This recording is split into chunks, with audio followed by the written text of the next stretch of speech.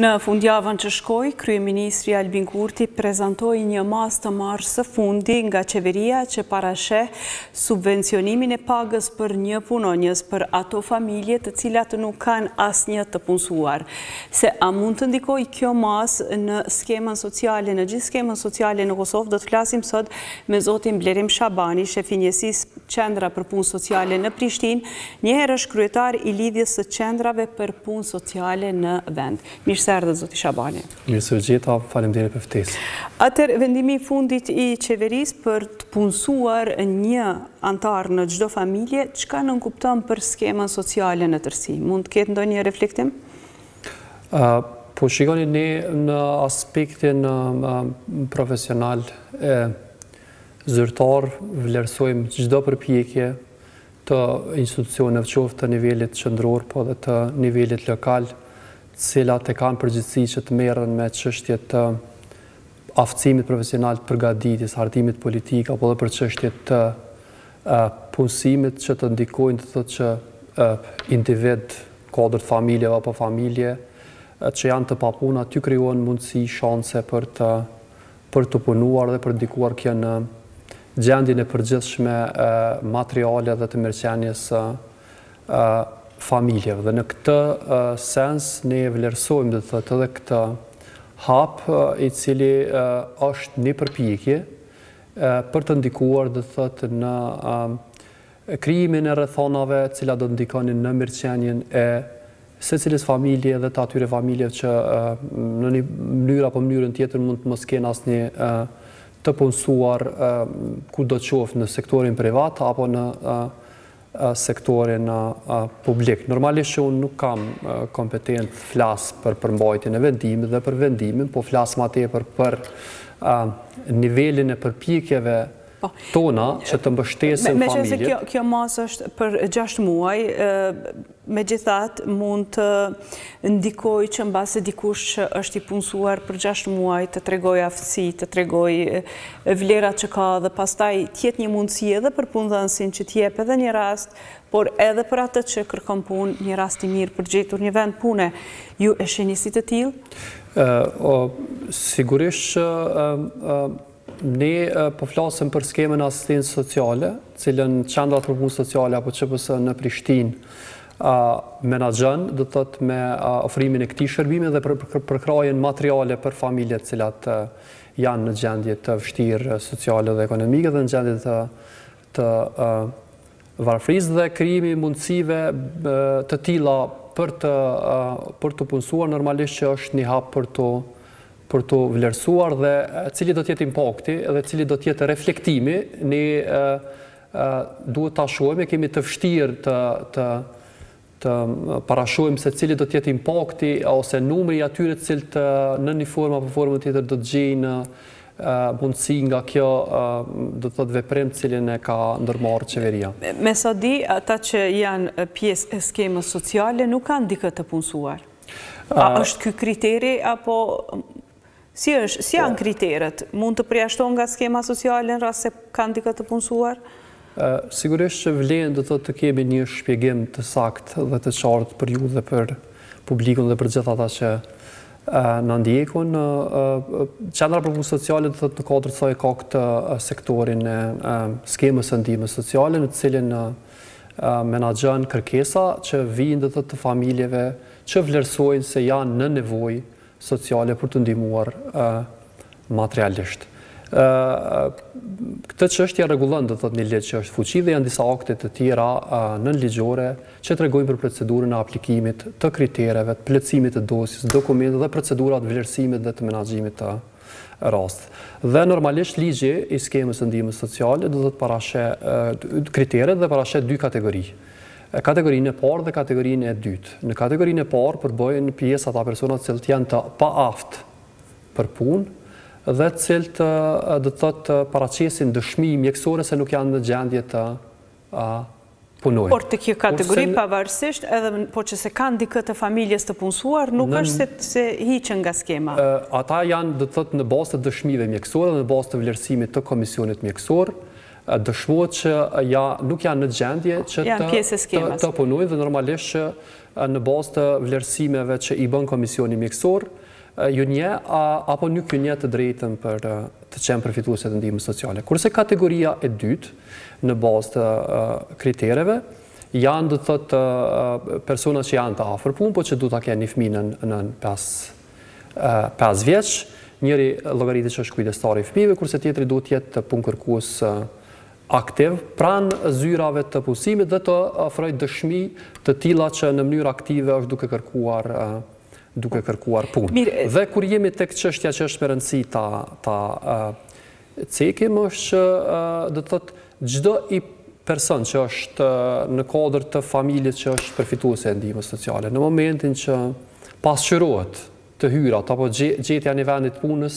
i cili pasqyrohet përmes qarkullimit të bankare që reflektohet në ATK, normalisht që përbën obligim ligjor që ne ta ndërpresim. Ju në këtë rast bashkëpunoni me ATK-në, me qendrën e punësimit, me agjencinë e punësimit, me kë bashkëpunoni që ta keni evidencën kur vetëm fillon qarkullimi bankar? Skema e ndihmës sociale është një koncept i dekoncentruar i cili menaxhohet nga dy nivele. Nga niveli lokal që është çështje e menaxhimit të kërkesave dhe të vlerësimit dhe vendimmarrjes dhe është çështje e menaxhimit të nivelit qendror sepse nuk e ka decentralizuar komplet si kompetencë. Krahasimin e të dhonave, niveli qendror normalisht e bën në komunikim me ATK-në. Ato pasqyra të cilat reflektojnë për hyrje, për qarkullim, Normalisht që ATK-ja i ndon me këtë rast Departamentin për Politika Sociale dhe të Familjes dhe ata i shpërndajnë do të thotë tek nivelet e QPS-ve në mënyrë që të reflektojnë dhe të merren veprimet e duhura përfshi edhe ato mjete të cilat janë fitu ndoshta pa bazë ligjore që të rikthehen dhe të merren veprimet nëse personi i cili është targetuar. Ndodh shpesh të detyrohen personat t'i kthejnë mjetet? Ka raste të tilla? Ka raste të cilat kërkohet që të inicohet procedurë për kthimin e mjeteve dhe ka raste të cilat reflektojnë në pasqyrat e ATK-së që janë kanë gjetur vend të punës dhe janë njëkohësisht duke realizuar të të hyra qoftë në punësim në sektorin privat apo në sektorin publik apo në forma të tjera të angazhimit të tyre. Sa shpesh ndodh që të paraqiten vetë vullnetarisht dhe të tregojnë se tashmë kanë gjetë një vend pune dhe nuk kanë më nevojë për ndihmën sociale? Shikoni, ka edhe raste të tilla të individëve apo familjeve apo bartësve të kërkesave, se fund të fundit ata janë bartës të kërkesave edhe të familjeve apo të kryefamiljarëve, të cilët vijnë dhe në momentin që ka kriju një do të thotë vend pune që i siguron të hyra, lajmërohen. Po janë raste më të pakta, më të rralla dhe nuk janë shumë fenomen, po mund të thom që janë raste të të izoluara. Po, folet për dy kategori të ndihmës që ofrohen me skemën sociale, njëra kategoria e parë e personave që nuk janë të aftë për punë dhe tjetra që duhet të kenë një fëmijë nën moshën 5 vjeç. Cila kategori është më e ngarkuar, sipas jush, ku është pjesa më e madhe e atyre që marrin ndihmë sociale?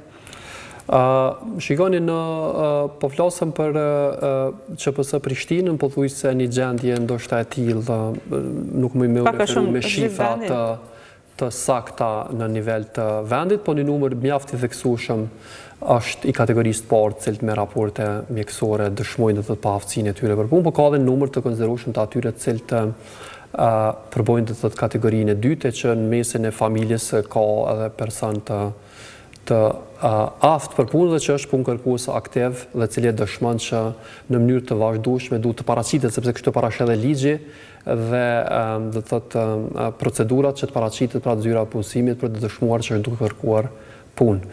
Dhe do të thotë është një përqindje përafërsisht në numër në Prishtinë është një numër më i madh i familjeve që janë në kategorinë e parë, Dhe më pak në kategorinë e dytë. Në një intervistë me një zyrtar të Agjencisë së Punësimit këtu në këtë studio kemi kuptuar siç ka thënë ai që ka shumë raste kur paraqiten në Agjencinë e Punësimit, por thonë ose bëjnë lutje që t'u japim vërtetimin sepse nuk mund të punojnë për arsye të ndryshme.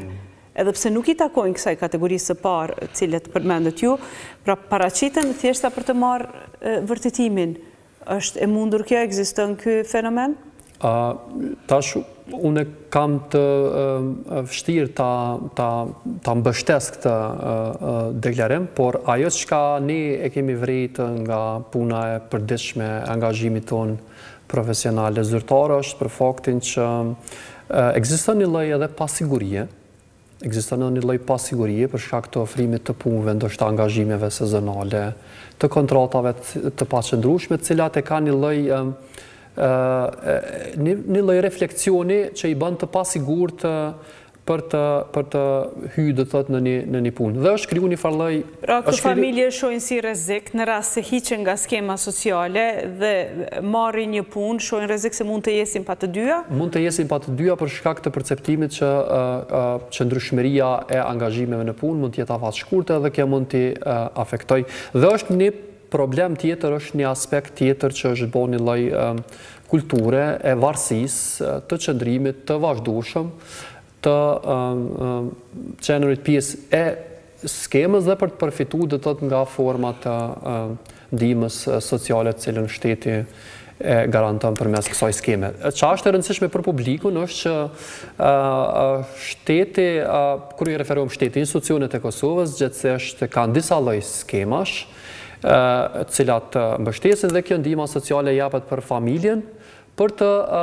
zbutur varfërinë dhe për të ndikuar në plotësimin e nevojave familjare të përgjithshme që kanë. Po, janë kritikuar disa herë kriterët, sidomos te kjo kategoria e dytë që për të përfituar nga skema sociale, familja duhet të ketë një fëmijë nën moshën 5 vjeç. Ju si vlerësoni këto kritere? Dhe çfarë ndodh ndërkohë familjes kur i rritet njëri fëmijë me automatizëm del nga skema, jeni në vazhdimësi në ndjekje të përmbushjes këtyre kritereve? Çështja e hartimit të legjislacionit për plotësim ndryshimin dhe hartimit të ligjeve nuk është kompetencë e... E qartë, por ju çfarë shihni në realitet të ndodhë? Tani po e shpjegoj si pasojë e këtij kriteri. Tani po e shpjegoj komplet do të thotë procesin se çka është duke afektuar do të thotë kjo çështja e kësaj e këtij kriteri që është kriter ligjor në aspektin e zbatimit edhe të vlerësimit edhe të rrethanave të familjeve të cilat në të vërtetë mund të kenë nevojë. Ne e dimë që kemi një ligj të vjetër të vitit dy mijë e tre dhe po ashtu është një plotësim ndryshim i vitit dy mijë e dymbëdhjetë nëse nuk jam shumë gabim e dy mijë e dymbëdhjetë që ka reflektu disa ndryshime po jo të duhura do të thotë për të tejkalu këto pengesat e kritereve. Dhe tani më kjo kompetenca e ndryshimit dhe iniciativa për ndryshime ligjore është kompetencë e nivelit qendror, gjithsesi qeverisë përmes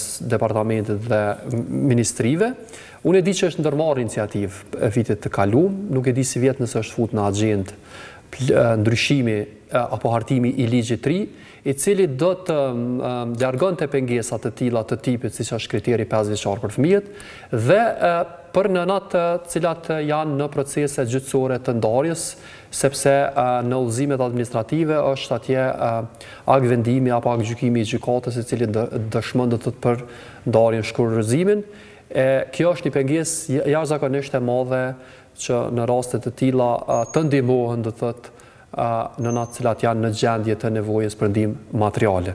Ne vazhdimisht edhe në forume të diskutimit, edhe në takime zyrtare, edhe në takime të tjera formale të karakterit me instanca që janë vendimmarrëse, reflektojmë këto çështje që janë pengesa të natyrës së zbatimit nga si nivel zbatues dhe normalisht presim që të reflektohen. Ajo çka më intereson mua është se a jeni ju në komunikim me ligjvënësit për t'u treguar se cili është efekti i këtij kriteri, posaçërisht ky kriteri për të pasur një fëmijë nën moshën pesë vjeç, çfarë ndikimi ka në familjet që janë në skema sociale?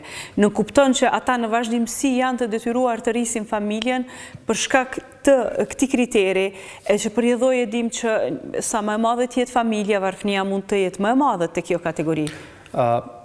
Shikoni, nga periudha kur ky kriter, ose hartimi i këtij ligji, e në periudhën kur ne po flasim ka kalu një periudhë e gjatë, e gjatë, e qartë, kohore dhe ka ndru, ka ndru dinamikat dhe ka ndru konteksti Edhe kohor edhe i rrethonave tona sociale e familjarë. Po dikush edhe mund të harrojë që ekziston një kriter i tillë me ligjin për skemat sociale. Po normalisht, normalisht që ne në diskutimet tona në raport me Departamentin e Politikave Sociale, sepse janë strukturë mrena Ministrisë së Financave, sepse ju e dini që Ministria e Punës, Mirëqenies Sociale është shpërbo me vendimet e fundit të qeverisë dhe një departament që merret pikërisht me çështje të politikave sociale, shërbimeve sociale apo skemës sociale ka kalu në ministri të financave, atje janë të vedishëm, besoj që këto ky ligj duhet të ndryshojë, të hartohet një ligj i ri.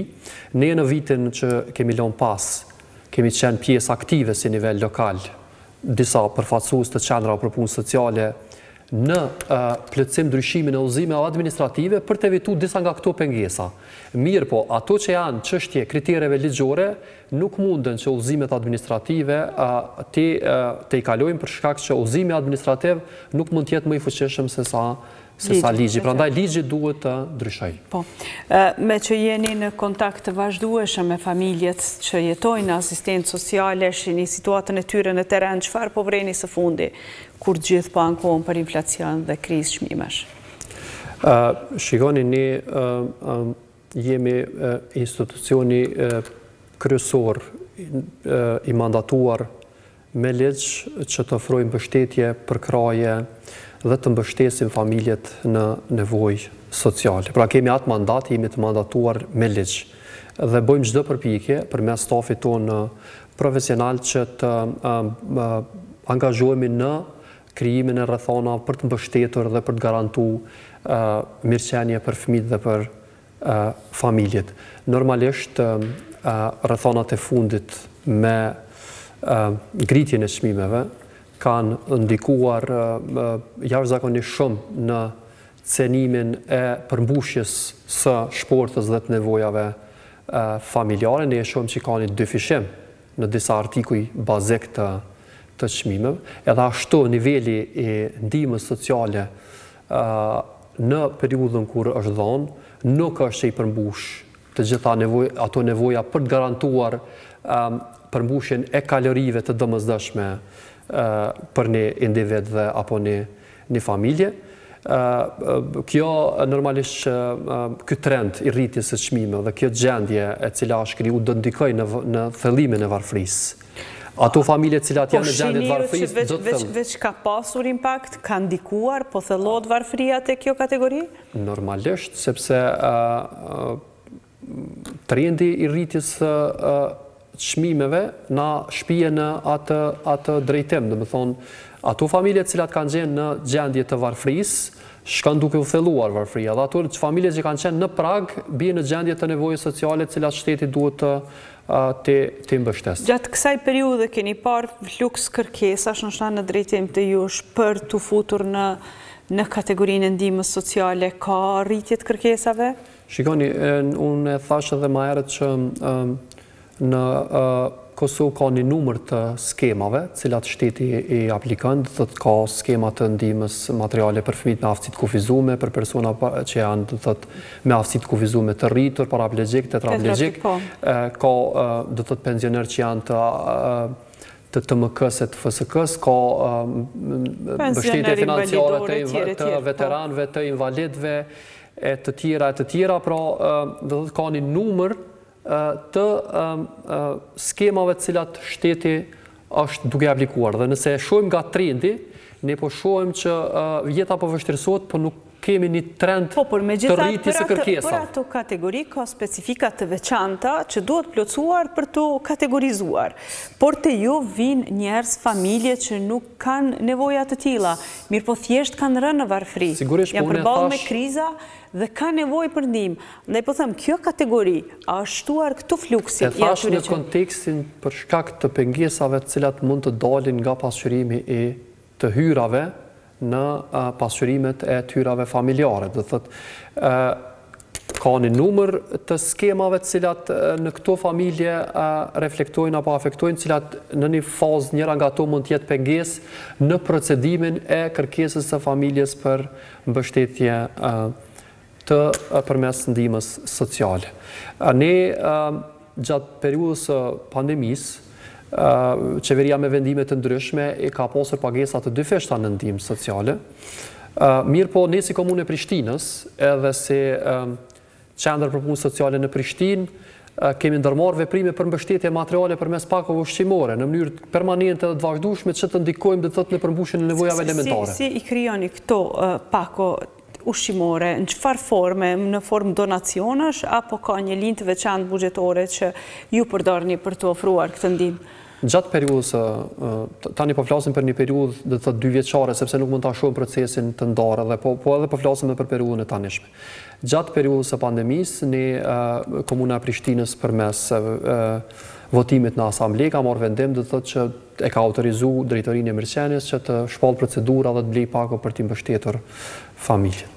Dhe tani ne kemi një partneritet të mirë me plot organizata që merren me çështje të ndihmës të drejtpërdrejtë materiale, pra në pako ushqimore dhe i koordinojmë këto procese, e listat të cilat i kemi në dispozicion të familjeve që janë në ndihmë sociale, normalisht e bëjmë përpjekje që të gjitha familjet të kenë dhe të të përfshihen në këto ndihma materiale në pako dhe në A ju ndodh ndonjëherë që të keni pako ushqimore që vijnë tek ju e që mbeten aty?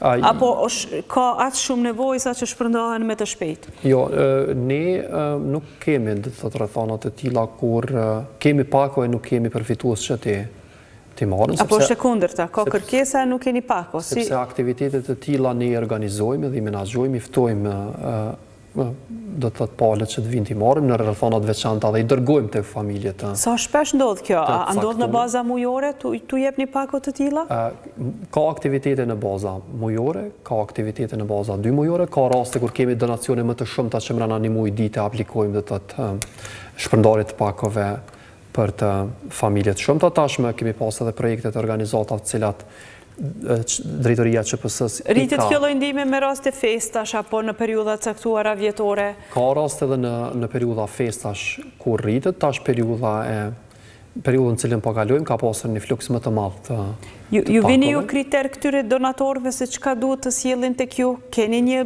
listë gjërave që i shihni si të domosdoshme për një familje apo mund të sjellë kush çfarë të dojë? Në këtë Në këtë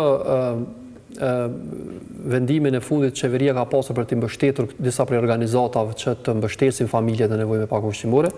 QPS Prishtina, gjithsesi edhe drejtori i QPS-së Zoti Muju ka marrë iniciativë që të bëjë një bashkërendim të aktiviteteve të tilla me këto organizata, që përmbajtja e pakos të jetë e tillë që të reflektojë do të thotë disa nga artikujt ushqimorë që e përbëjnë do të thotë shportën ditore të konsumit familjar. Pra, dhe kjo ka reflektuar kjo ka reflekt, kjo është reflektuar do të thotë në këtë përmbajtje të pakos dhe në me këtë dinamikë do të thotë është shku që së paku të jetë pakoja mos jetë e, e, e varfër në artikuj që të mos i përmbush nevojat e shportës ditore. Çka shihni si prioritare në këtë pako? ushqime bazike, gjëra higjienike, çka duhet të përmbajnë, cilat janë ato elemente që pa të cilat nuk bën një pako e tillë? Po, normalisht që janë artikujt e konsumit ditor, të cilat shërbejnë për përgatitje të ushqimit dhe edhe artikuj të tjerë që janë të natyrës higjienike, për mbajtjen e higjienës personale dhe familjare. Dhe kryesisht në këtë Në këtë lloj, do të thotë, përmbajtje jemi munduar dhe jemi përpjekur që të kemi, do të thotë, përmbajtjen e pakos. Keni parasysh që kur ne vendosim, kur ne përcaktojmë, normalisht që e përcaktojmë përmbajtjen. Po kur kemi donacione të tilla dhe donatori është ai i cili e përcakton, ne nganjëherë nuk e kemi edhe atë fuqinë që të ndikojmë sepse është çështje e mundësive, është çështje e kapaciteteve të donatorit, Që të ofrojë me aq sa ka fuqi të të mbështesë këtë pako. Mirë, faleminderit shumë zoti Shabani për këto shpjegime, për këtë intervistë. Ju lutem, kënaqësi.